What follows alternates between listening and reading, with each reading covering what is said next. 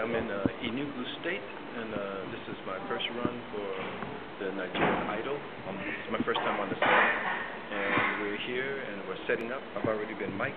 It's gonna be my first time judging on American I- uh, Nigerian Idol. Sorry.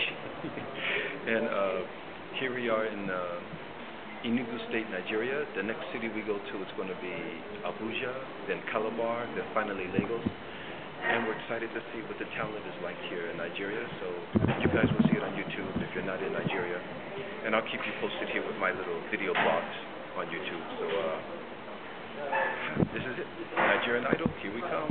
Check it out, you guys. Jeffrey Daniel. This is um, October. Oh my God, I never remember dates. Do you know what today's date is? Uh -huh. this, this, the seventh. What did you say? 11? this is October 2010, Enugu State, Nigeria, Nigerian Idol.